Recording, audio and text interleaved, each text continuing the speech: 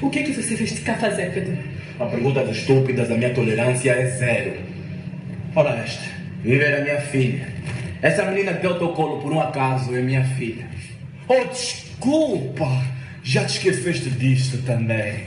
Segundo o tribunal, só pode vir aqui sábado e domingo. E hoje é segunda-feira, pretinho. E agora? Vais fazer o quê? Vais ligar para a polícia?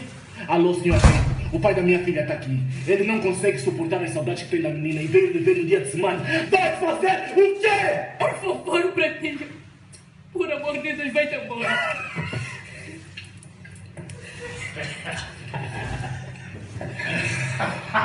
Engraçado. Impressão minha. Ou estás com medo de mim?